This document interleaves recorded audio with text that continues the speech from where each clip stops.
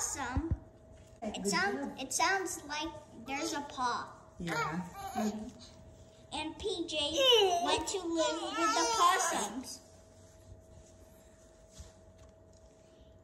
The possums liked to hang upside down, but hanging upside down gave PJ a headache. Oh, wow. So PJ said, I don't want to be a bear, or a bird, or a beaver, or a possum. I what real what I really want to be is a A. bunny. Wait, a bunny? so PJ hurried home. His funny bunnies were very happy to see him. PJ was very happy to see them. Mm.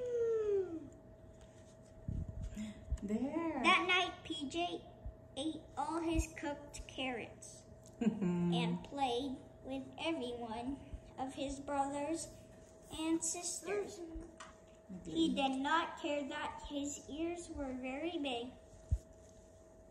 At least anyone can, anyone, everyone can see that I am a bunny, PJ said, and not mm-hmm. a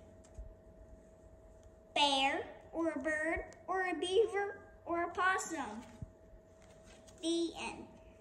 I'll say bye-bye. Bye bye. See you. See you. See you in our next vlog. Say hi. Hello. Hello. Oh, Shaya, look. Bye-bye. See you on our next vlog. Bye bye. Bye bye.